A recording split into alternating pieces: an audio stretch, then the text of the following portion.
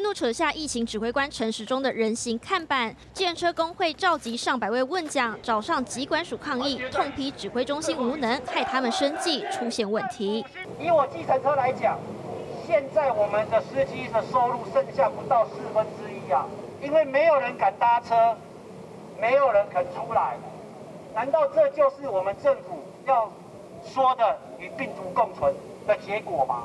疫情期间，计程车司机出门载客得承担染疫风险，但想要买快筛剂又是一剂难求，导致无法提供阴性证明给乘客看，生意也受影响。台湾的十万的计程车司机都是大众运输捷运的一环，因此你要与病毒共存，请你政府提供给我们所有的司机足够的快筛剂。